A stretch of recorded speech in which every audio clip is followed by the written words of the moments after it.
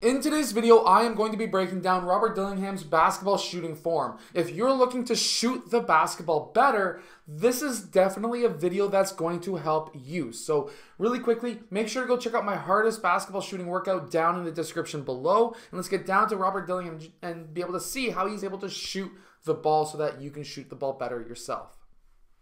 Okay, so from this one quick warm up shot, what we're seeing is that he dips the ball down to his waist. Dipping the ball sometimes will give you almost like a backswing in golf, where it lines up your shot and makes you a little bit more accurate. However, where people or some players will mess up is they will bring the ball up while they're dipping their body. Robert Dillingham doesn't do that. He's actually bringing the ball from his gather up into his set point while his body is going up while he's extending his knees and his hips. See, you get most of your power from your legs, but also your lower back. You don't want to change the power that you're shooting with when it comes to your arms when you start going deeper and deeper. The reason is because your arms are your aim. Your power comes from your back and your legs. Here we can see that his elbow and shoulder are also in line with the rim, and when he dips down, when he gets that ball and he dips, he's got his knees, hips, as well as shoulders all pointing in the same direction. He's, his knees do slightly come together, but they're all pointed in the same direction. And he's looking at the rim. That's an extremely important tip that a lot of players make a mistake on. And then when he releases, he has a straightforward flick with no thumb flick. He also understands that by going back towards his left side, as we see here, he's able to get his right shoulder and elbow in line with the rim much easier and also much quicker as well. If you're a right handed shooter, always try to pull back towards the left side because you will have a faster shot. We can even see this here where he pushes off, plants the left foot, and then puts the right foot down. By getting that left foot down first and then planting his right foot, he's going to be able to get that right shoulder and elbow in line much faster, especially when it comes to defenders who are guarding him tight like this guy. And he's able to release nice and straight, and he gets full extension on the elbow. That's another tip. A lot of players will not get full extension and will not hold their release, which will take away power from your shot. So if you find that your shot's always short, Record yourself and see if you're getting full extension. That could be just one small thing that you have to do to be able to shoot the basketball from further away.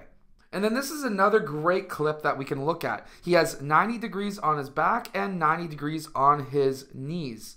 This is going to give him a lot of power. If you dip your body too low, you're going to be actually taking away power. And if you don't dip your body far enough, at that point, you're not going to get enough power either. So, that is a great tip that you can incorporate into your game. He also has, in my opinion, a two motion shot. The reason being is because when he goes up, that's his set point, and he freezes there for one, two, and three frames. So, about three milliseconds. To some coaches, he would have a one uh, shot or a one motion shot instead of a two motion, but either way, it's a smooth shot. He has really good energy transfer.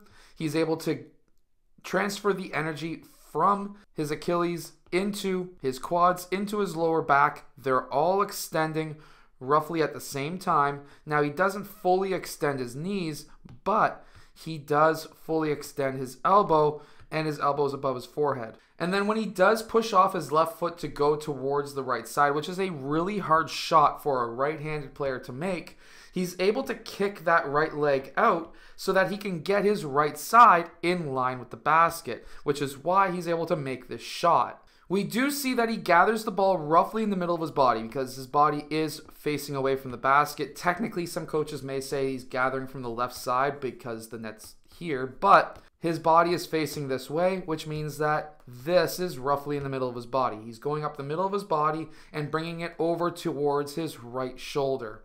He gets a lot of angle on his elbow, and we can see that he does have a little bit of space between his palm and the ball.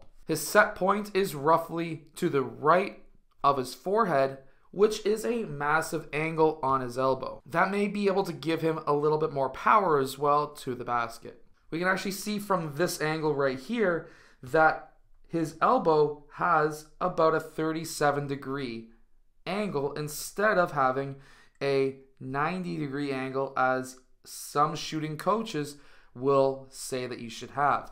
Now, the difference between a 90 ish degree angle and a 40 ish degree angle is going to be shot speed. The more you bend your elbow, the greater distance you may be able to shoot, but it will decrease your chances of not getting blocked or getting it'll increase your chances of getting blocked. Getting closer to 90 degree will be a faster release, but he doesn't have that issue right now anyways. And when we look at the drop that the ball has to the rim, it's about 40 to 42 degrees. In this clip, it's 41 degrees, and that is in line with what we need to be seeing from players. From about the three point line, you want to see between roughly 41 to about 43 degrees, roughly 45, sometimes depending on the distance away from the basket. Now, the reason for this is because if it's too great of an arc, if it hits the rim, it's going to bounce out because there's so much gravity on that ball. If you go too short, too shallow on the shot, then it's going to be seeing more rim than net and you're going to miss. If you can get in that 41 to 43 degree range, then that drop is going to be perfect because it's not going to have too much gravity pushing it down to bounce it out of the rim. And it's going to be able to see a good amount of mesh to be able to get the shot made. I hope that this video helps you shoot the basketball better. If it does, hit that like button and subscribe, and I'll see you guys again next time. Make sure to go check out the hardest basketball shooting workout down in the description below.